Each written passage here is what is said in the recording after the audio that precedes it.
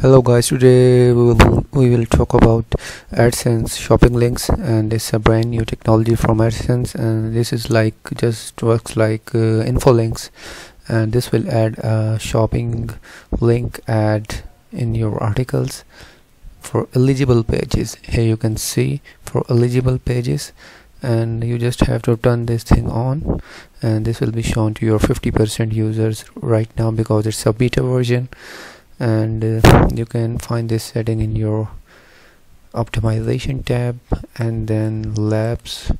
And here you can turn on AdSense shopping links.